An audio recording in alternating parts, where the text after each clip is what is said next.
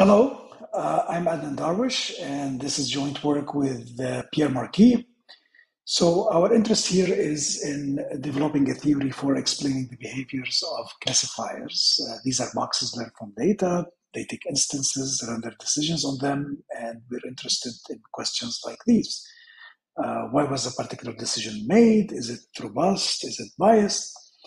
So over the last few years, a significant amount of work have tackled these kind of questions uh, by compiling the input-output behavior of the classifier into a symbolic representation and then using reasoning uh, on these representations to answer these uh, questions. And uh, in this earlier work, which includes ours, typically uh, people use uh, specialized representations for the input output behavior, which are meant to facilitate reasoning, like tractable circuits, decision graphs, and then also specialized algorithms.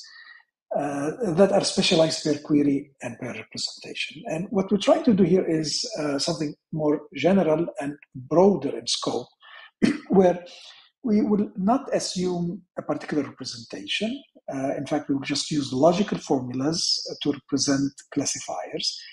And the fundamental insight behind the work is that to reason with these symbolic representations and therefore answer uh, explainable AI queries, we will rely mainly on uh, the process of quantification. This is uh, a, uh, an operation that has a long tradition in, in logic. We will actually look at specialization of it, and we'll see it plays a fundamental role in answering not only these queries, but many more and some open ended queries related to explainable AI.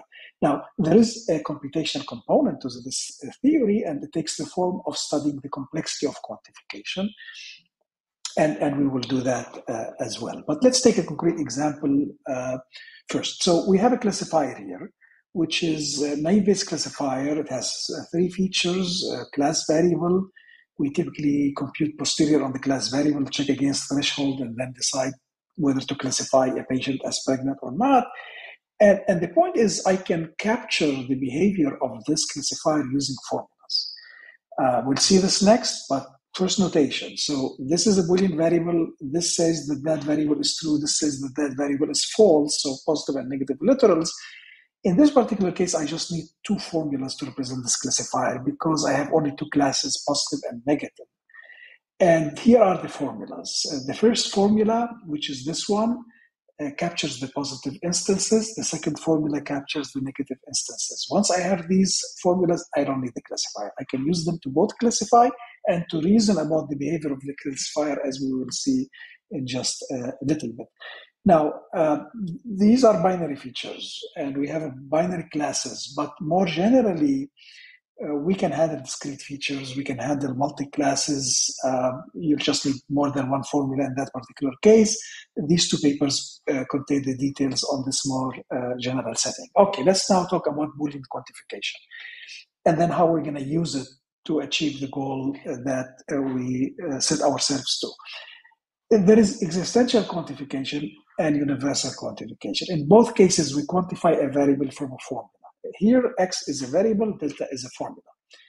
Here are the definitions of these operations. Let's start with the first one. Up there, this says take the formula delta and replace every occurrence of variable x with true. So we're re replacing occurrences of the variable with the constant true. We say we are conditioning the formula on x being true. Now this says condition the formula on x being false we disjoin them, we get our quantified uh, Boolean formula in this particular case. Universal quantification is the same, except that we use conjunctions instead of disjunctions. Now, uh, relatively recently, uh, compared to the history of quantification, a proposal was made to uh, use a more refined notion of existential quantification, where we quantify a state of a variable or a literal from a formula. That's the definition. This is more general because we can use it to define variable quantification. We just have to quantify both states of the variable. The order does not matter. Um, uh, quantification is commutative. Now, existential quantification uh, received significant attention in AI. And, and the reason is it's forgetting semantics. And what that means is when you existentially quantify a, a variable from a formula, uh, this amounts to erasing the information that the formula has about the variable. And similarly, when you quantify a literal from a formula, you are erasing the information that the formula has about the literal. So that has all kind of applications.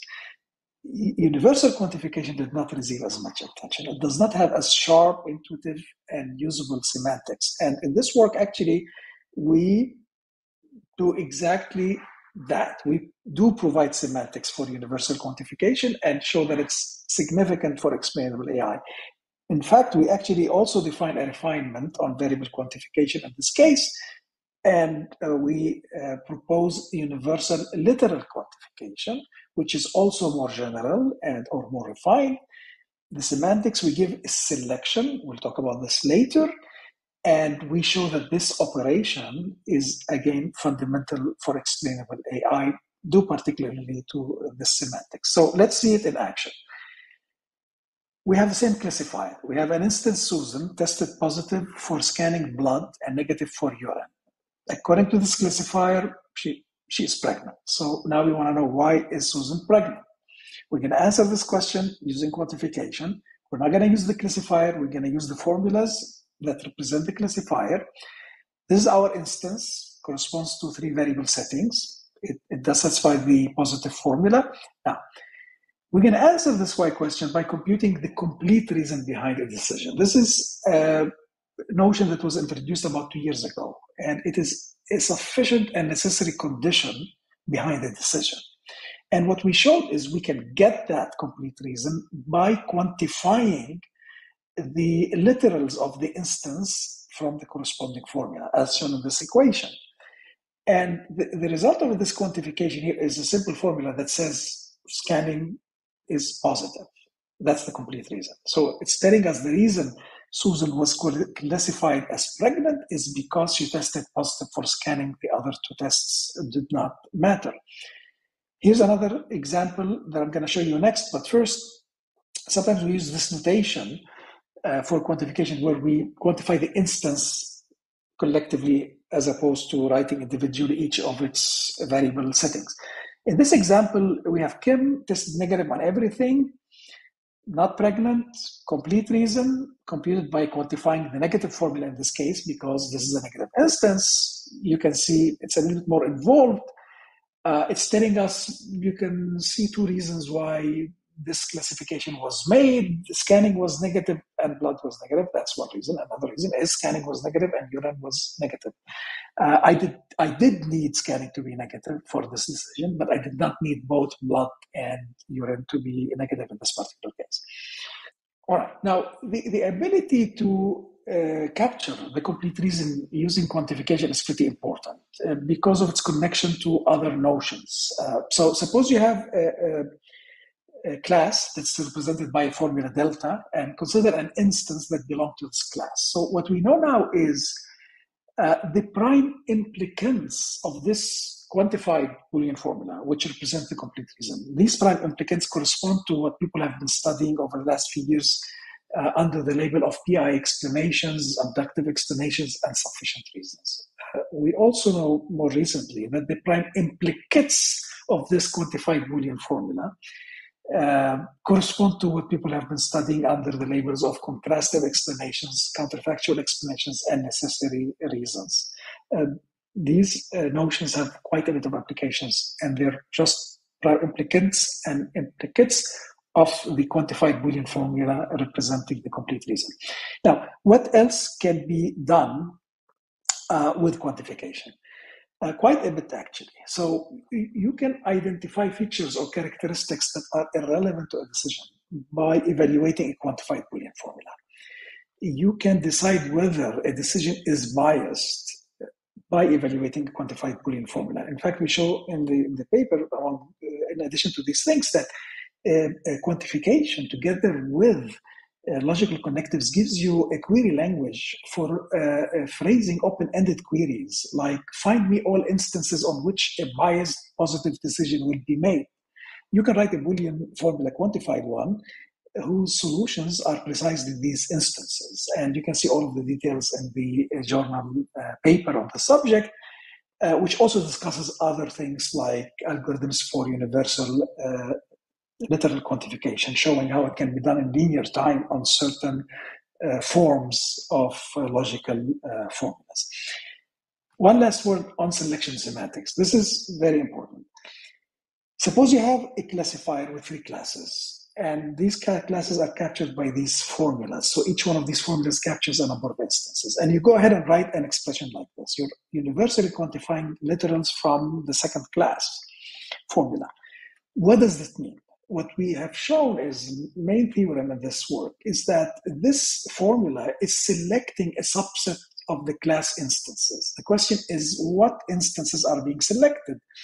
It is those that do not depend on these literals for their membership in that class. Meaning, if you have a class, delta sub and you have an instance that belongs to it, and that instance contains characteristics in the set, then what we can do is we can flip these characteristics as we wish and the resulting instance will remain in that class. That's what it means not to depend on these particular characteristics. Those are the ones that are being selected by universal literal quantification, and that stands behind quite a bit of the results that we derived in this uh, line of work.